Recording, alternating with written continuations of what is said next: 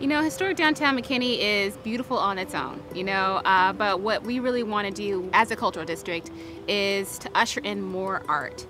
More accessible art that's free and that you don't necessarily have to go into a museum to see, but you're able to experience when you're downtown enjoying your time dining or shopping down here, but to have that art experience. Part of our cultural district designation is we wanted to increase our public art offering um, in our district in historic downtown. And I know in years past there were like frog projects where downtown merchants painted certain frogs and put them out in front of their, their building. And over the years that, that idea kind of dwindled, but I wanted to kind of revive that same spirit. And I thought, uh, what would kind of capture the city of McKinney and unique by nature. And quite naturally, we thought butterflies would be the best representation of that.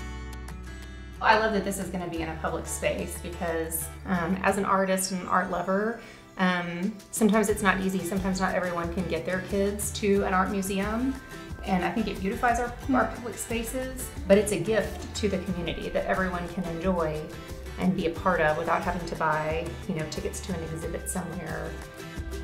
Choosing the butterfly as our public art symbol um, has dual purpose. McKinney is also part of the monarch migration, so monarchs migrate from Canada to Mexico, and our city has made a pledge to help sustain those butterflies in that travel journey.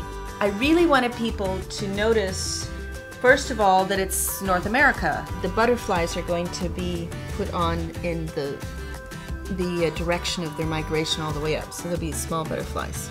Anytime we have an opportunity to showcase downtown artists or McKinney artists, we're going to jump at it. And especially when we're trying to highlight cultural district, which is a part of the cultural district. So it only made sense that we would bring in uh, McKinney artists to showcase their work and to represent McKinney in an artistic way. Yeah, it's really nice that all the artists can come together and showcase their skills. You know, we're all kind of cheering each other on or watching each other along the sidelines too. So there's definitely a lot of support there. Meeting new people and building the community and being able to do cool projects like this. Yeah. Never would have thought that I would have been able to do it with a huge group and to be projected and support our city for that. So that's really cool. Just like McKinney being unique, our artists are also unique. So you're going to see a variety of artwork on all the butterflies. Uh, we have a representation of downtown at the McKinney Performing Arts Center butterfly. And then we have the mandala butterfly over by the library. And that group was actually born out of a group project in the library. So there are a variety of different butterflies that represent the artists. So all of our butterflies are located within a walkable distance inside of our cultural district, like here at Central Park, and at the McKinney Performing Arts Center, and at Chestnut Square. So next time you're in downtown McKinney, whether it be shopping or dining, be sure to stop by one of the butterflies, take a photo with your family, and use the hashtag downtown McKinney.